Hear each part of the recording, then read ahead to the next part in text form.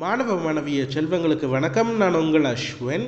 India முழுக்க பல்வேறு யூனிவர்சிட்டிஸுடைய application process வந்து எண்டாக போகுது. அதுக்கப்புறம் யாருமே அங்கே போயிட்டு ஜாயின் பண்ண முடியாத ஒரு நிலைமை வரப்போகுது. இப்படி இருக்கிற சூழ்நிலையில் சிபிஎஸ்சி ரிசல்ட்ஸ் இன்னும் டிக்ளேர் பண்ணவே இல்லை. எப்போ வருங்கிறத பற்றி இன்னும் எந்த ஒரு அஃபிஷியல் ஸ்டேட்மெண்ட்டுமே இல்லை. அப்போ சிபிஎஸ்சி ஸ்டூடெண்ட்ஸால் இந்த மாதிரி யூனிவர்சிட்டிஸில் போயிட்டு ஜாயின் பண்ணுறதுல ஒரு சிக்கல் ஏற்படுது. இந்த சிக்கலை சரி பண்ணுறதுக்காக இப்போ யூஜிசி ஒரு சர்க்குலர் வந்து போடுறாங்க. யூனிவர்சிட்டிஸ் கிராண்ட்ஸ் கமிஷன் இவங்க தான் எல்லா யூனிவர்சிட்டிஸ்க்கும் ரூல்ஸ் அண்ட் கைட்லைன்ஸை ஃப்ரேம் பண்ணுறவங்க இவங்க என்ன சொல்லிட்டாங்க அப்படின்னு பார்த்தீங்கன்னா சிபிஎஸ்சி ரிசல்ட்ஸ் டிக்ளேர் பண்ணுற வரைக்கும் எந்த ஒரு யூனிவர்சிட்டியும் அவங்களுடைய அப்ளிகேஷன் ப்ராசஸோ இல்லை அட்மிஷன் ப்ராசஸ் அந்த ப்ராசஸை வந்துட்டு நீங்கள் ஸ்டாப் பண்ணிடவே கூடாது. அவங்களுக்கு ஒரு ஃபேர் சான்ஸ் கொடுக்கணும். கரெக்டான அந்த ஒரு வாய்ப்பு அளிக்கணும் அப்படிங்கிறதுக்காக தொடர்ச்சியாக நீங்கள் வந்து உங்களுடைய அப்ளிகேஷன் அட்மிஷன் எல்லாமே கண்டினியூ பண்ணிகிட்டே இருங்க. சிபிஎஸ்சி ரிசல்ட்ஸ் வர்ற வரைக்கும் நீங்கள் அதை கண்டினியூ பண்ணிகிட்டே இருங்கன்னு சொல்லி யூஜிசி இப்போ ஆர்டர் போட்டிருக்காங்க. அதே போல் அவங்களுடைய சர்க்குலரில் இன்னொரு விஷயம் என்ன சொல்லியிருக்காங்க அப்படின்னு பார்த்தீங்கன்னா இந்த ரிசல்ட்ஸ் வர்றதுக்கு மேக்ஸிமம் ஒன் மந்த் ஆகும் அப்படிங்கிறதையும் மென்ஷன் பண்ணியிருக்காங்க. ஃபஸ்ட்டு பேராகிராஃபில் லாஸ்ட் லைன் பாருங்களேன். அதுதான் சொல்லியிருக்காங்க. அப்போ இன்னையிலேருந்து மேக்ஸிமம் ஒன் மந்த்துக்குள்ளே வருங்கிறது நமக்கு வந்து இதிலேருந்து அஃபிஷியலாக எடுத்துக்க முடியுது. ஏன்னா யூஜிசி சிபிஎஸ்சி கூட கம்யூனிகேட் பண்ணி தான் இந்த இன்ஃபர்மேஷன் போடுறாங்க ஃபைன் ஓகே சரி யூஜிசி இப்படி சொல்லிட்டாங்க. இனிமேல் என்ன எல்லா யூனிவர்சிட்டியும் அவங்களுடைய அப்ளிகேஷனை கொஞ்சம் எக்ஸ்டெண்ட் பண்ணிடுவாங்க.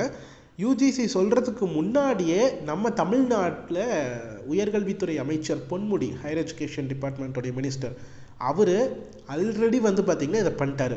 அதாவது இந்த சினிமாவிலலாம் ஒரு டைலாக் இருக்குல்ல அன்றே கணித்தார் சூர்யா அப்படிங்கிற மாதிரி நம்மளால் அன்றே முடிவெடுத்து விட்டார். அன்றே முடிவெடுத்தார் பொன்முடி அப்படிங்கிற மாதிரி யூஜிசி சொல்கிறதுக்கு முன்னாடியே அவர் வந்து பார்த்திங்கன்னா என்ன பண்ணிட்டார் அப்படின்னா Tamil Nadu government arts and science colleges இருக்குல்ல அதுக்குடைய கவுன்சிலிங் டிஎன் கசா கவுன்சிலிங் வந்து ஆல்ரெடி ஏழாம் தேதி எண்டாக வேண்டி இருந்துச்சு.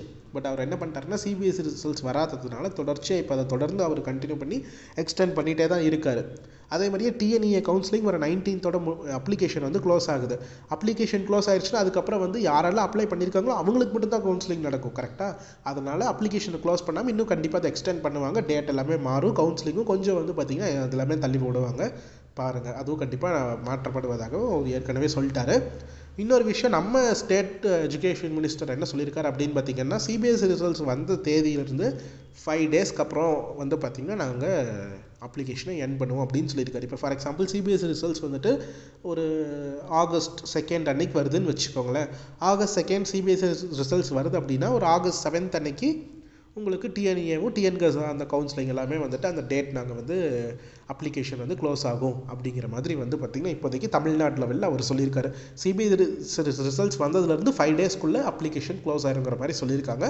அதனால் ரிசல்ட் வந்தது உடனேயே நம்ம என்ன பண்ணலாம் அப்படிங்கிறத கேட்டுற மாதிரி இப்போவே நீங்கள் வந்து டிசைட் பண்ணி வச்சுக்கோங்க. ஏன்னா உங்களுக்கு வந்து ரிசல்ட் வந்ததுக்கப்புறம் ரொம்ப டைமிங் இருக்காது இருக்காது. அப்ளிகேஷன் எல்லாம் டக்கு டக்குன்னு க்ளோஸ் ஆயிரும். அதனால் நீங்கள் இப்போவே பிளான் பண்ணி என்ன பண்ணலாங்கிறதெல்லாம் திங்க் பண்ணி யோசித்து வச்சுக்கோங்க. சரியா? Okay students that's it thank you